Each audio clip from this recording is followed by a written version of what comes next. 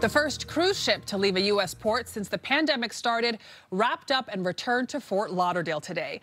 But the ship had another distinction. Its groundbreaking captain, our Janet Shamlian, met her at sea. See.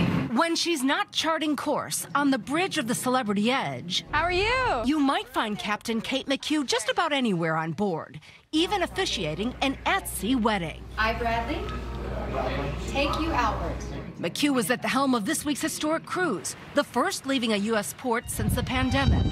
She's also the first American woman to ever captain a mega cruise ship. You dreamed about this as a child. Was this the goal? This was the end result of um, dreaming since I was 12 years old when my parents took me on my very first cruise.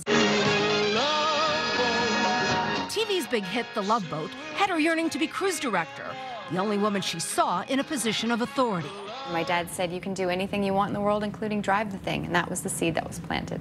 Hi there. Captain McCue has become somewhat of a celebrity in the cruising world, but maybe an even bigger star off the ship.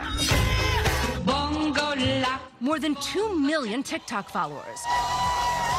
She travels the world with her hairless Sphynx. Look at the camera. Bug Naked is a star in her own right. 50,000 Instagram fans. So, how many bow thrusters do you think we're going to have for departure? The captain already inspiring officers the like these. forecast? During the pandemic, McCue spent 318 days aboard the Edge, her relief unable to reach the vessel.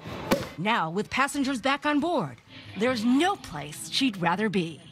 Janet Shamlian, CBS News, at sea, aboard the Celebrity Edge.